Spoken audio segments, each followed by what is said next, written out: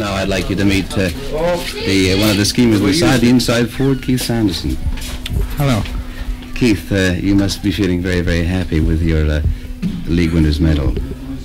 Oh, very happy, yeah.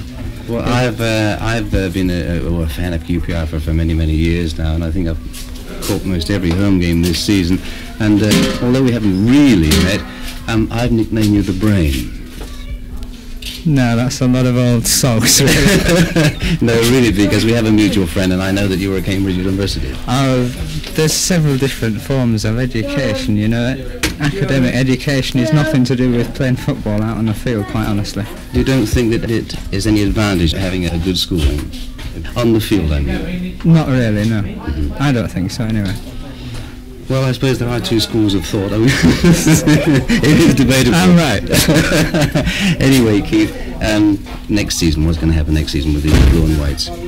Well, I think it'll go not too badly, but we've got to tighten up. But we're not consistent enough. You know, this mm-hmm. year we've won games playing badly, mm-hmm. and we won't win games next year playing badly. I assure you.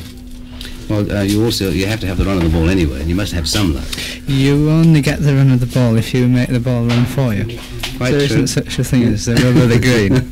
but there is an element of luck also. No. You don't think so? No. Oh well, also debatable. anyway, Keith, many thanks indeed, and uh, I wish you every success in the second division next season. Thanks very much. Thank you.